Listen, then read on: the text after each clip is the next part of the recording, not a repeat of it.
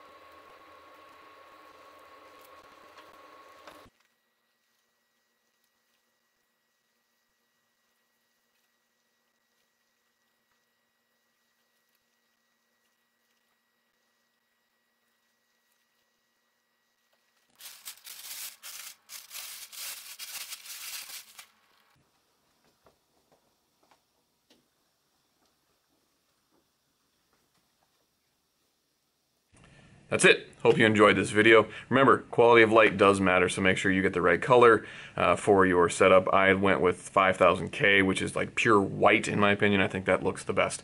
Uh, I did get enough coverage. I tend to keep this on uh, full blast, even though it is dimmable. It, at the brightest setting, it does seem to work the best, at least as far as this. So it does fill up the entire table with a really good solid quality of light. So if you like this, uh, subscribe. If not, see you later. Have a good one.